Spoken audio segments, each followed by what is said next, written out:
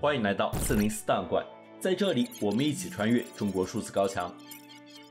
尽管中国的言论审查和舆论管控日趋严峻，国家对公民的监控也无处不在，但我们依然可以看到那些不服从的个体，顶着被删号、被约谈，甚至被监禁的风险，对不公义勇敢说出自己的声音。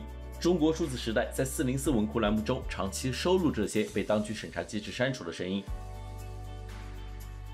随着江西联合调查组发布调查通报，确认此前江西高校食堂出现的异物为鼠头，直属围鸭事件似乎告一段落。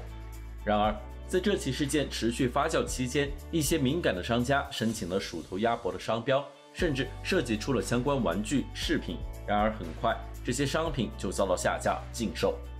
对此，网易号阿拱科技发表文章进行评论。作者在文中写道。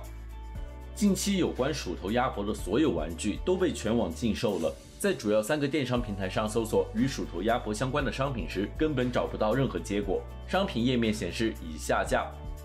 出现这种情况可能有以下三种原因：一、断货。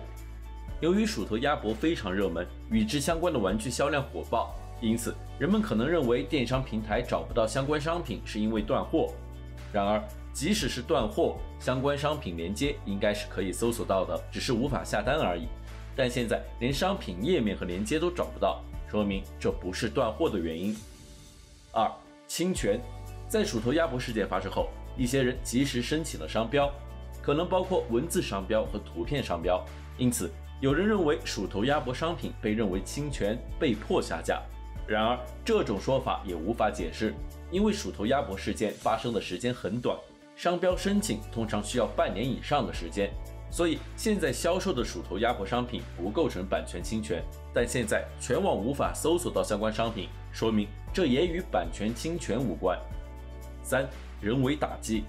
鸭脖事件的过程中，可能有人担心事情的败露会损害自身利益，因此刻意隐瞒一些事实。尽管现在事情的真相已经揭露，但由于某种考虑，相关利益方可能希望事件不再持续发酵。因此，开始采取行动，禁止某些言论或商品的出现。然而，能够让所有电商平台禁售鼠头鸭脖商品的人或机构绝对不简单。我认为，鼠头鸭脖的玩具应该允许正常销售，公权力应该在法律约束下行使。超越法律行使公权，将失去公信力。中国数字时代 CDT 致力于记录和传播中文互联网上被审查的信息，以及人们与审查对抗的努力。欢迎大家通过电报 t e n n y g r a m 平台项目投稿，为记录和对抗中国网络审查做出你的贡献。投稿地址请见本期播客的文字简介。阅读更多内容，请访问我们的网站 cdt.media。